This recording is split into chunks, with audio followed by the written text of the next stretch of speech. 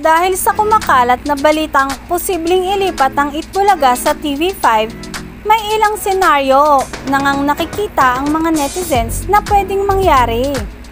Maaring mabago ang noontime slot ng It Showtime sa TV5 kung matutuloy nga ang balitang paglipat ng Itbulaga sa nasabing network.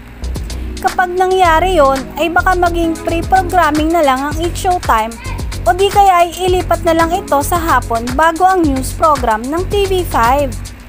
Kung sakali, papayag ba ang grupo ni Vice Ganda sa It Showtime sa mga posibilidad na ito? Ang tanong, sino at aling programa ang mas papaboran ng TV5? For sure, ang gustong mangyari ni na Tito Soto, Vic Soto at Joey De Leon ay ilagay sa noontime slot ang Itbulaga. May choice ba si Vice at ang iba pang host ng It Showtime kapag nangyari yon?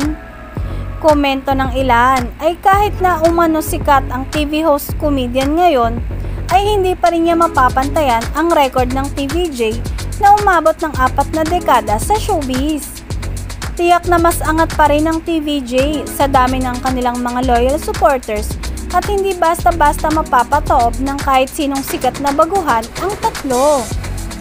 Nagsimula na ang mga inisyal na negosasyon sa magkabilang network.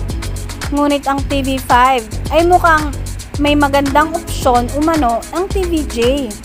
Lalo na sa posibilidad ng back-to-back programming nito sa Showtime na dating mahigpit na karibal ng Itbulaga sa mga oras ng tanghalian. Ang potensyal na paglipat na ito sa TV5 ay nagpahiwatig na matapos ang kamakailang pakikipag-ugnayan sa pagitan ng mga host ng dalawang palabas.